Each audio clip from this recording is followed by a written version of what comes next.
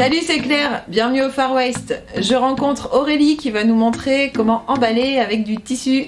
Bonjour, je suis Aurélie je vais vous présenter le furoshiki. Je vais vous montrer comment faire un emballage cadeau. Alors moi ça faisait des années que je récupérais les papiers cadeaux mais j'étais jamais vraiment satisfaite parce que euh, quand je voulais les réutiliser il y avait euh, toujours un pli, un bout de scotch qui avait euh, enlevé un bout du papier. Puis quand j'ai découvert le furoshiki, eh bien j'ai découvert le potentiel de, cette technique qui permet de faire un emballage hyper esthétique selon ses goûts. On peut récupérer des, des foulards ou un paréo ou un chèche, une ancienne nappe, euh, un rideau, euh, un dos de chemise, voilà qu'on va pouvoir découper. Alors plutôt en carré.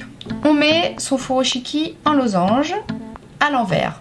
On va prendre pointe du haut et pointe du bas et on va faire un nœud plat sur la boîte. C'est un double nœud qui tient vraiment bien, c'est un nœud de marin. Alors on va faire pointe de droite, on la croise sur la gauche et on la fait passer dans la boucle.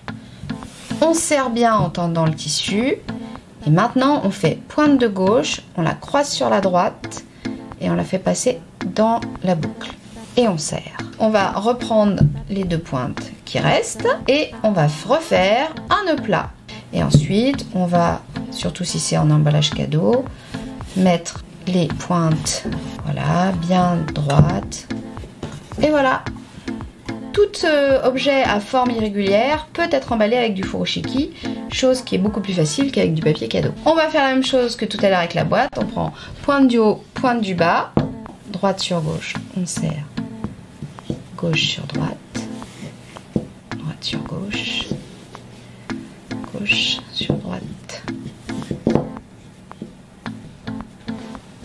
C'est une technique qui est très ludique. Ça permet de réutiliser des choses qu'on a chez soi. Le contenant s'adapte au contenu, donc on peut prendre des formes différentes. Ça permet aussi de limiter la consommation de papier cadeau, qui sont souvent pas recyclables. On met euh, deux minutes pour le faire, deux secondes pour l'arracher. Le furoshiki, lui, on va pouvoir l'utiliser un grand nombre de fois. Il n'y a pas d'usure. Et on va pouvoir même le mettre dans des bandes de collecte ensuite pour qu'il soit recyclé, puisque le textile, lui, euh, se recycle. Je ne reviendrai certainement jamais à des emballages papier, euh, parce que le furoshiki, c'est vraiment, euh, vraiment top.